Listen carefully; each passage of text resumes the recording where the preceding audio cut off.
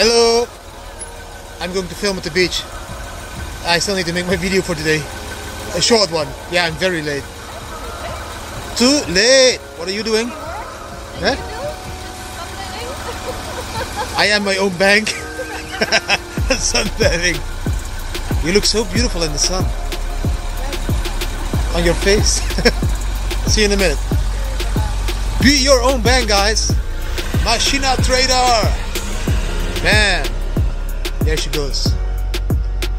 I think they did groceries, but I will check later because if they didn't do groceries, she just referred to shopping as working, and then you know exactly what the problem is when Bitcoin goes up and you live the Bitcoin family life because then they think they can spend more and more stuff that we really don't need. The sun is going down. I'm going to make a very short video. I can't say bom dia anymore because it's almost evening. The sun is really bright. You will love the view, I think, on the beach now. I need to watch out where I walk. In today's video, very short, talking about the news that I read this morning. Also sharing a Bam Bam chart and of course looking at the Bitcoin price. And why today this late? Because I already did an interview this morning, also this afternoon again, and this evening again with Digital Assets Rob. So I uh, I did a lot of work today. But we'll talk about all of this in the video. Enjoy the complete video while you enjoy this amazing view of the sun going down above this beautiful city of Lagos, Portugal.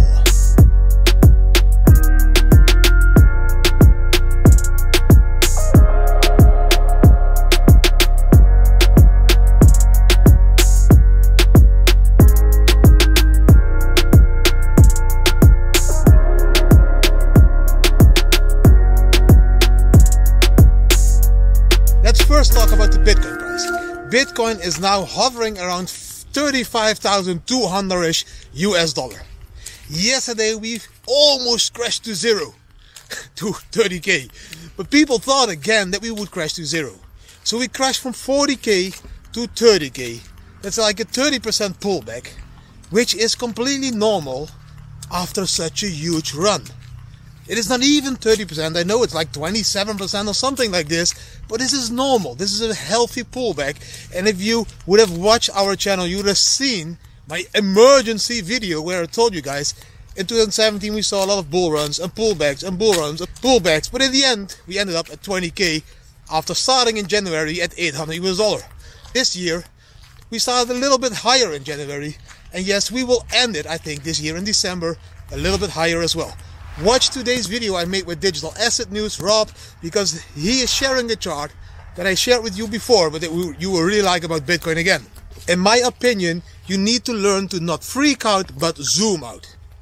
Don't get stressed about these Bitcoin prices. We will see ups and downs. And but if we will repeat history, then we will see a much higher all-time high this year around July till December. But please watch yesterday's video or the video of the day before if you want to understand why I think this. Because I very, very clearly explained in those videos how I think the Bitcoin price will evolve in the next couple of months. Let's take a look at the BAM chart. How did we trade yesterday? This one. BAM. On the BAM chart, you can say you can see we traded with 200 US dollar with a leverage of 10 on Bybit. And yes, sometimes I use a trailing stop loss. And that's why I sometimes prefer Bybit over Prime XBT or DueDEX or even Kraken. I trade on all of them. But if you want to have cool sign up bonuses, sign up using referral links. Bybit $90, DueDEX 300 US dollar, and on Prime XBT 50% of your deposit as a bonus. So use the referral links because we use the revenue from those referral links to help poor people all over the world. The first trade, guys, we did was a long. It was a 60% profit long. So the $200 turned into 325 US dollar. The second trade, guys, was a short. A short with 125% profit, which turned to 325 US dollar into 700 US dollar. And the third trade, guys, was again a long with a 60% profit taking us all the way up to 1100 US dollar. This third trade, we had a stop loss of around 230 US dollar. So we were kicked out by this wick. And that is why we only reached 1100 US dollar. We could have had more profit if I would have stayed at the charts and didn't use the trailing stop loss. But then again, I'm very happy that I used the trailing stop loss because that made me have profit in this short trade, guys. There was a moment I was doubting to leave the short, but you can see that in the margin call 2.02 that there is a lot of sand and this sand made me stay in the short. That sand told me don't stop this short trade. It will fall deeper and deeper so stay in the short. Down below on the Didi Bam Bam indicator you can see this with arrows. They are indicated why I went long or short. The blue line crossed the white midline or the red line or the green line, you can see those arrows at the point that we took the longs and the shorts. So yes, again, we waited for a confirmation. We didn't just go long or short. When the flag appeared, waited for a candle to close below the yellow stepping line. We waited for the Didi Bam Bam indicator to cross one of those three lines. We waited on the margin call from the sand to go into the green or from the green to go into the sand. And that is the moment we take the short and the long. So that is the moment we created profit. While I walk to this beautiful sun, I don't think I can film it with the DJI. I don't think you can see it because my head is getting dark, but you can see how beautiful it is. I can turn the screen check. Flip. Look. It is going down at the moment. It's amazing to be here in Lagos Portugal where we have the sea and then this beautiful view of the sun. Let's talk a little bit about the news I read this morning. And the first thing I read was about a bank. And it made me realize that these banks are like two-faced monsters because on the one hand, they say, ah, oh, we don't want Bitcoin and Bitcoin is illegal. Some banks now love Bitcoin, but there are still, still some banks like Morgan Stanley and all those things. Nah, Bitcoin is trash, don't do it. But on the other side, they are investing in MicroStrategy and they topped up an investment, so now they own 10.9% of MicroStrategy to be invested more in Bitcoin. So on the one hand, they are saying, nah, Bitcoin is not good. On the other hand, they are buying up companies that are invested heavily in Bitcoin, so they still are investing in Bitcoin. That's why I always say, don't believe everything that they say in the news. Banks often have two faces. That one face is telling you, ah, it's bad. Then they start to accumulate Bitcoin themselves, and then they buy a company that owes a shitload of Bitcoins, so they have more exposure to Bitcoin as a bank without needing to admit that they do like Bitcoin, in my opinion. Comment down below how you feel and think about this. Do you agree with me that these banks always have two faces and they need to start to make up their mind? And the banks that won't make up their mind to accept the evolution of money, which is called cryptocurrencies, those banks will go bankrupt, in my opinion. But let me know what you think. Do you think it will be this extreme or not? Bam! And what happened yesterday is still like mysterious. Why did we still see this huge crash in the Bitcoin price? Many ask me, Didi, what is the reason for this huge crash yesterday? Um, it is difficult to explain, but I feel that there was something happening. I think that the miners and the exchanges, that they kind of agreed that the run was going too fast, that there was too much profit being made by the longs, and that they need to kill the longs to to break all those profits that people were making. I don't know for sure if this happened, but mostly these kinds of games are played when there is a shitload of money on the table.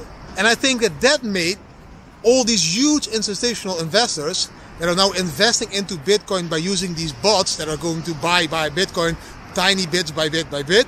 They always they all did already admit that they are buying Bitcoins by bots.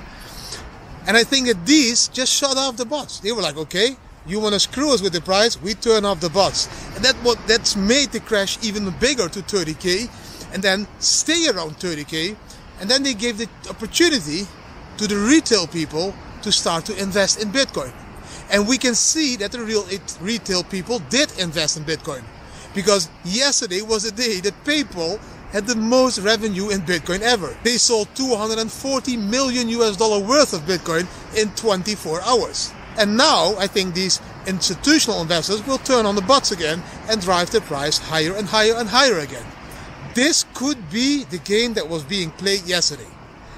Please remember, Bitcoin is a volatile world and is a game that is being played by institutional investors, retail investors, and huge kick-ass whales.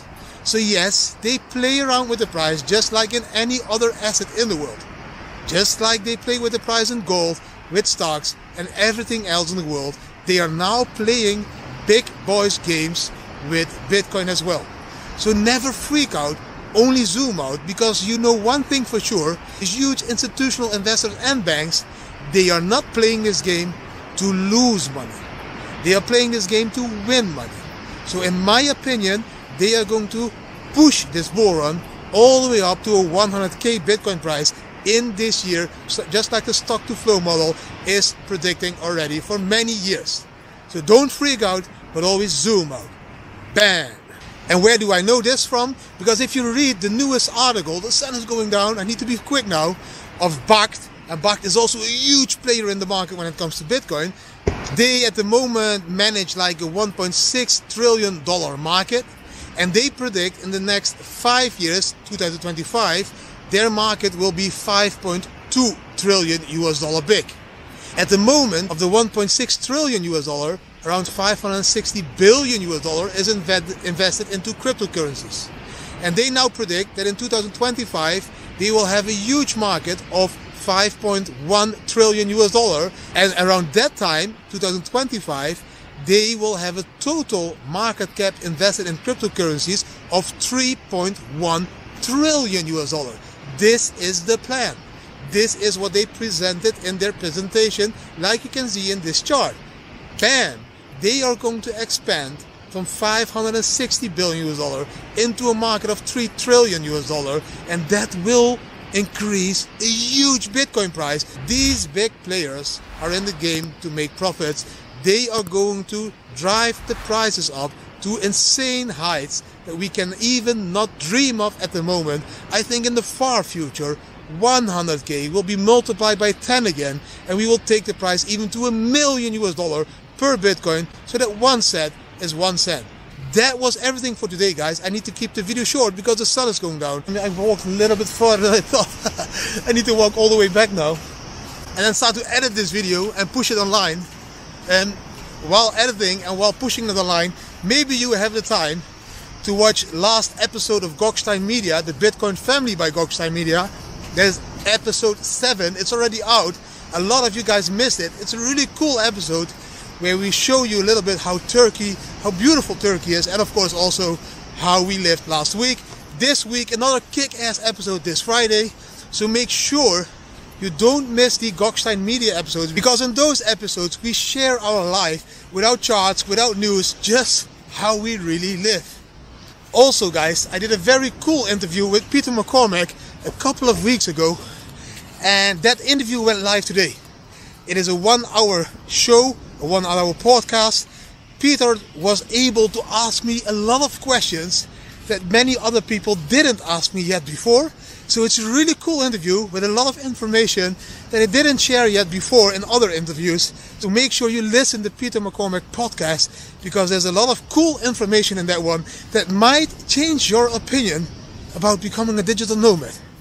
And yes, also today I recorded a video with Digital Asset News with Rob uh, about freaking out. So watch that episode as well so you understand my mindset when it comes to the Bitcoin charts. That was really everything for today, guys. If you liked today's show, please give the show a thumbs up, share it with your friends and family, subscribe to the channel, hit the notification bell, and please leave a comment because I love to respond to your comments. Always remember to zoom out in Bitcoin and to zoom in at life. Try to enjoy every single minute of the day, as that is exactly what life should be about. Thanks for watching, and hopefully see you tomorrow again. Bye! While the sun is going down, guys, and it is almost gone.